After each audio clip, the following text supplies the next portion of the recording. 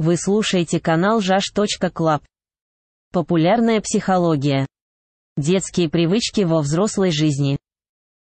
Каждый человек в душе немного ребенок. Кто-то легко расстается с детством, кто-то остается инфантильным до конца своих дней.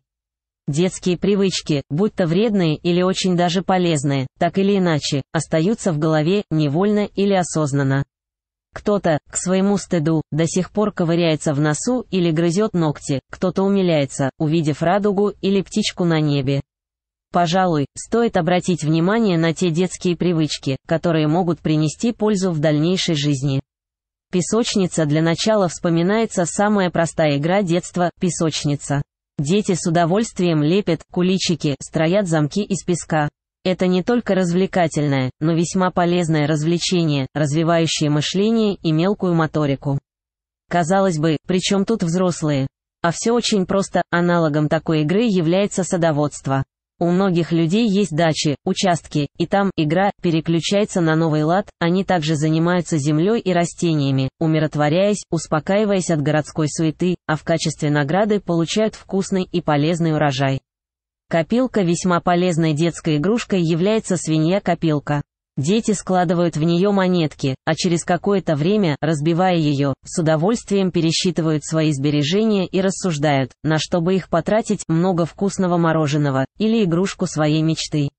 Во взрослой жизни остается все то же самое, только свинка превращается в банковские накопления и сбережения, а игрушка с мороженым – в поездку на море, машину, квартиру. Такая игра учит детей быть бережливыми, не растрачивать деньги направо и налево.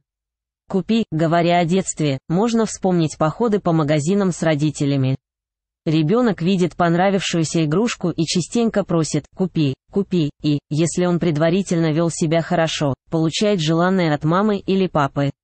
Любовь к шоппингу и спустя многие годы остается у человека, и с такой же радостью он получает то, о чем так давно мечтал, только теперь подарки он дарит себе сам.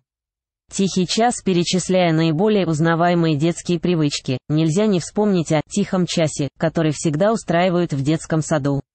Малышам, как правило, это не по душе, но уже потом, повзрослев, многие взрослые с удовольствием бы вздремнули днем.